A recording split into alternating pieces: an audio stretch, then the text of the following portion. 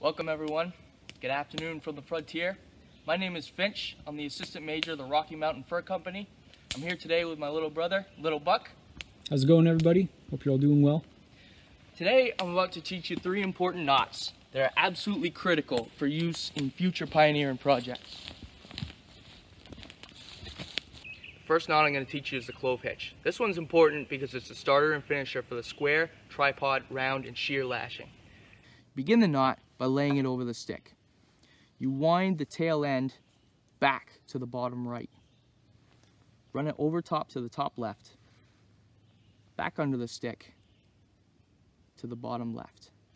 Then run your tail up to the loop you just made so that once you're finished, it looks like the letter N, capital N. Make sure to cinch those together because that's what ensures its tightness.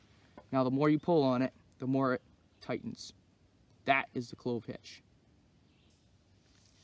Now the constrictor hitch is similar. It starts the same way. You start by running it over and looping it to the bottom right.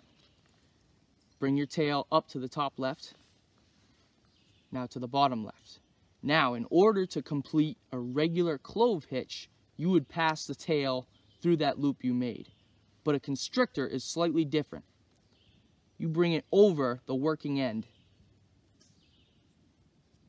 back underneath so that you make an overhand knot, and then through that top loop.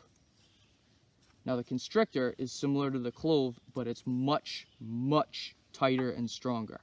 That will not go anywhere and it's a superior knot. The final knot is the timber hitch. Works the same way. You start by throwing the rope over the stick.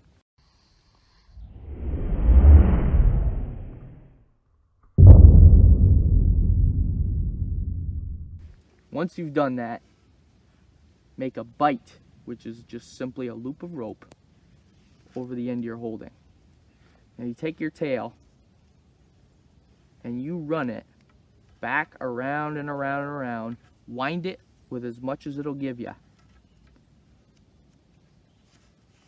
And you tighten it by simply cranking up and down on your timber hitch until it's tight. This is the starter hitch for a diagonal lashing. Thank you for joining me today. I'll continue to provide lessons over the summer as we develop our pioneering knowledge.